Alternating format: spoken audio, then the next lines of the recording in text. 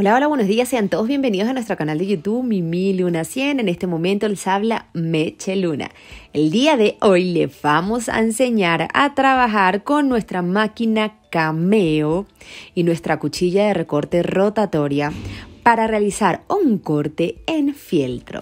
Voy a realizarles un zoom para que hagan una captura de pantalla. Luego de hacer su captura de pantalla pueden hacer el trazo de este patrón que yo voy a mandar a corte. Si se fijan estoy utilizando los colores de fieltro con los que voy a trabajar, fieltro morado, beige y verde. ¿De qué manera ustedes van a hacer el trazo? Vamos a suponer tengo mi captura de pantalla.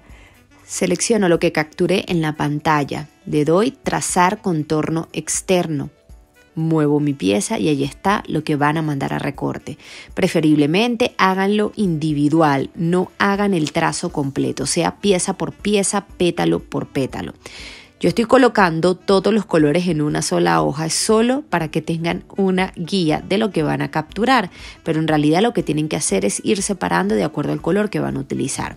Ahora vamos a corte.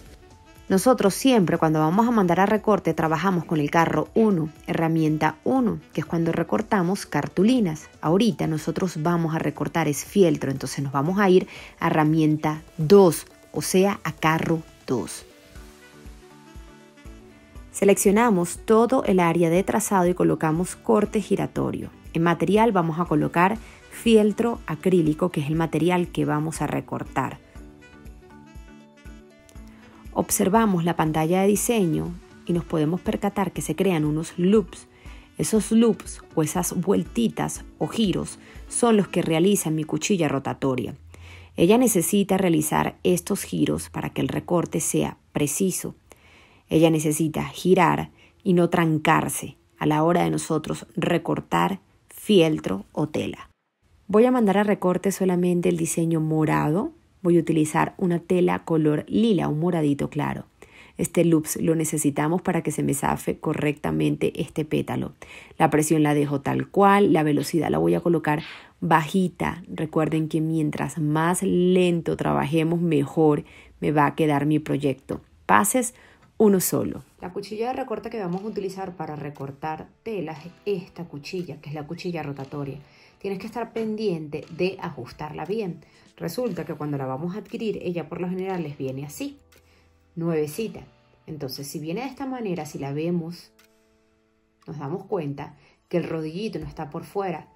Si nosotros manualmente no le hacemos el ajuste para que el rodillo salga que es la cuchillita de recorte, no nos va a cortar la telita o el fieltro, la pieza que vayamos a utilizar.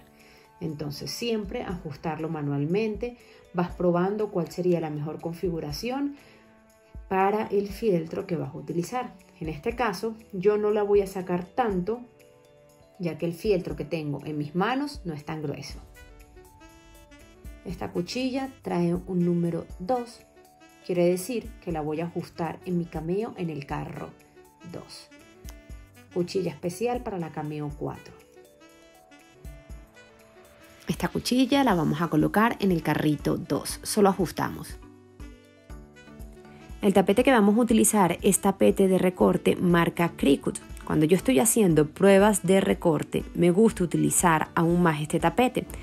Por ser más grueso, evito que se me dañe. Recuerden, cuando estamos haciendo nuestras primeras pruebas de recortes en tela o en fieltro, puede ser que si no utilizo las configuraciones correctas, dañe mi tapete. Entonces, para evitar que los tapetes se dañen tan rápido, lo que hago es que utilizo tapetes de recorte más gruesos, más resistentes.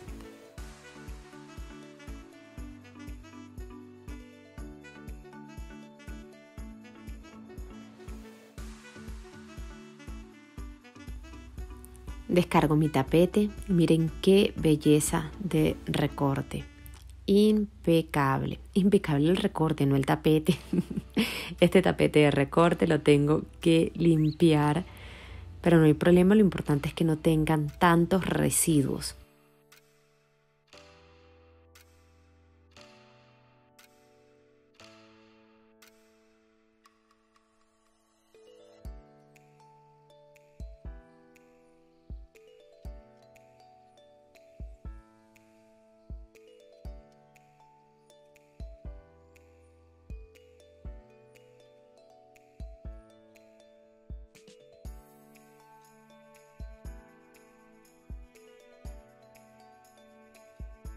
Esto es solo para desprender los hilitos porque la forma completa me la da mi cameo y mi programa. Es bueno cuando nosotros estamos creando nuestro emprendimiento hacer todos los recortes iguales, prolijos. Si ya tenemos una empresa de puros moños, todos los moñitos deberían ser iguales y esto solamente lo vas a obtener con una máquina. Voy a recortar el pétalo con una tijera. Esta tijerita es fabulosa. La puedes conseguir en el taller de Mimi Luna, ya les voy a dejar la página web. ¿Por qué me gusta tanto esta tijera? Yo creo que si ustedes nos siguen por nuestro canal de YouTube y están suscritas se han dado cuenta que la utilizo mucho. Al tener dientes, para mí es una tijera de alto tráfico. Es una tijera que aguanta golpe. Yo la utilizo para piezas que son muy gruesas. La utilizo para alambrismo y también la uso para la cinta doble cara. Lo bueno que es súper económica y si le llega a pasar algo que no le ha pasado, no me va a doler tanto el bolsillo. Estoy recortando un rectángulo beige y con esta parte de la tijerita, como es tan tan fuerte, hago los recortes. El recorte me queda preciso. No llego hasta el final porque si no desprendo el fieltro. Este fieltro es más grueso, es como un fieltro de varias capas. Era el que tenía a la mano, no es que tienes que hacer este proyecto con este fieltro. Pero si llegas a tener a la mano este en específico, trata de utilizar tijeras gruesas para que no la dañes. Este es el paso que tienes que seguir para luego aplicar pegamento y te queden los pistilos. Esto lo puedes hacer también en otro tipo de material. Una cuerina dorada Ay, señores, les va a quedar de rechupete. Vamos con otra consentida del taller de Mimi Luna, es la pistola de silicón baja temperatura. Cuando estamos realizando moños, para mí esta pistola de silicón es ideal. Es ideal porque cuando nosotros hacemos moños, utilizamos nuestros deditos y necesitamos hacer uniones de esta manera. Si la pistola de silicón no es de baja temperatura, las quemaduras pueden ser muy grandes. Al usar una pistola de silicón con temperatura baja, realizo mis uniones y no afecto tantos mis deditos.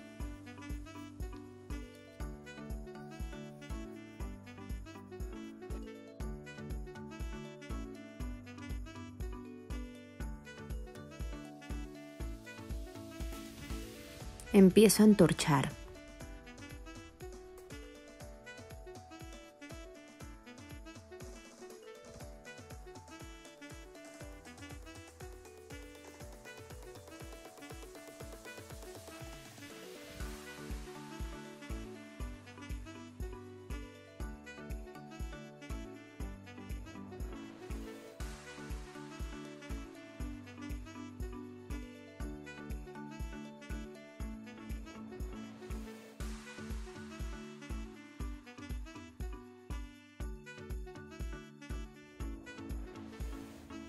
Miren qué belleza de pistilo, amor total.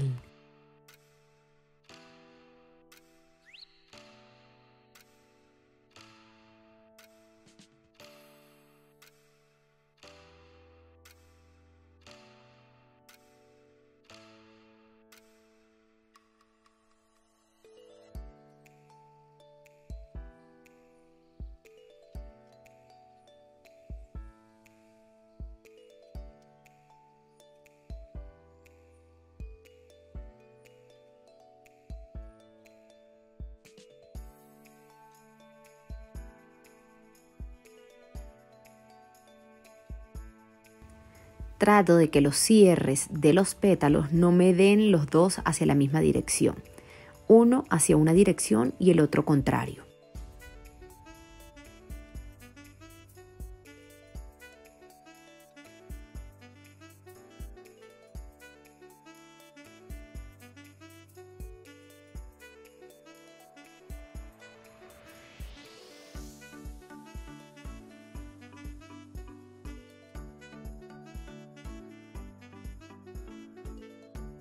Tengo dos pétalos pequeños y dos pétalos medianos.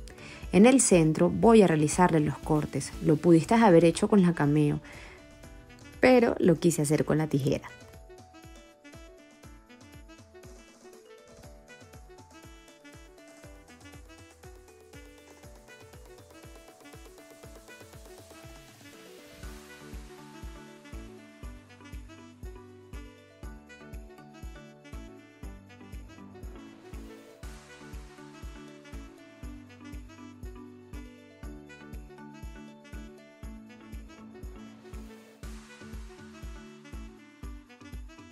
Vamos a ubicarlo en la flor de la siguiente manera.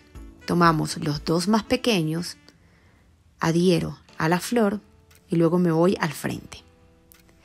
Luego me voy con los dos más grandes y repito el mismo procedimiento, de un lado y del frente.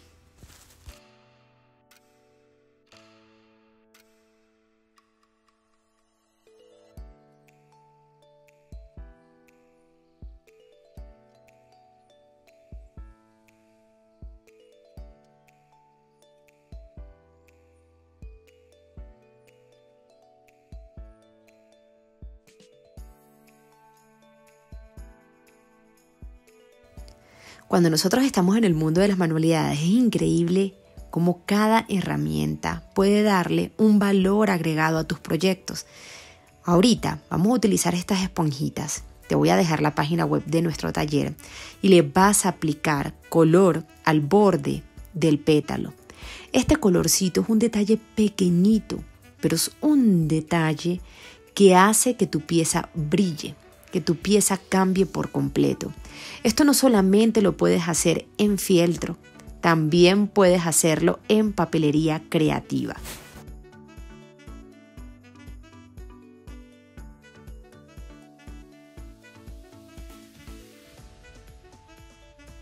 Tomamos la plancha de cabello, colocamos la temperatura al máximo y vamos a darle un toquecito a la hojita para que se me vea diferente, se vea la ranura en el centro y parezca la propia hoja. Esto lo podemos conseguir con las planchas de cabello. Presionas y listo. Eso es todo. Si deseas, puedes pasar dos veces y también darle más formitas a tu hojita. Todo es cuestión de gusto.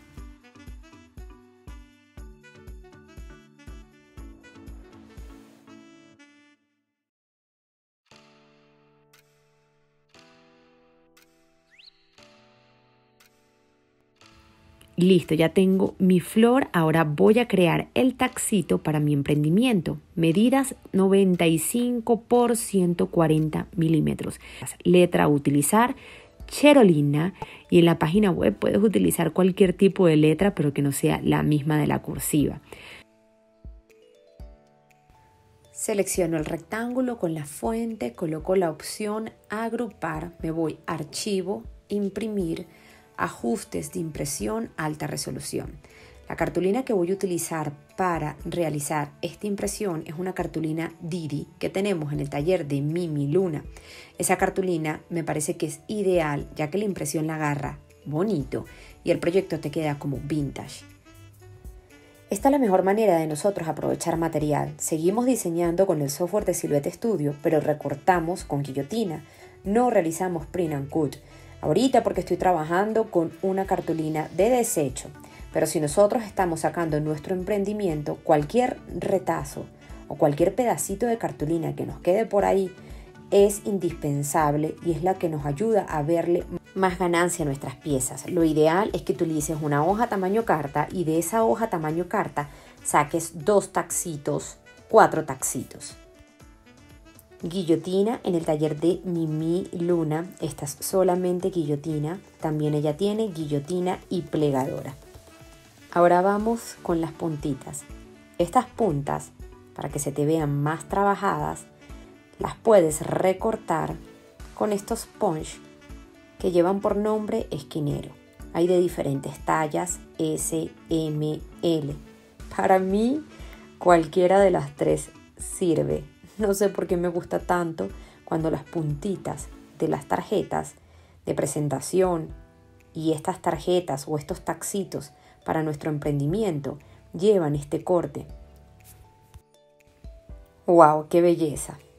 Una pieza delicada, desde el tac hasta el moño. Miren en tono rosa. Por favor, denle manito arriba y a suscribirse a nuestro canal de YouTube Mimi Luna 100, que trabajos como estos vas a tener.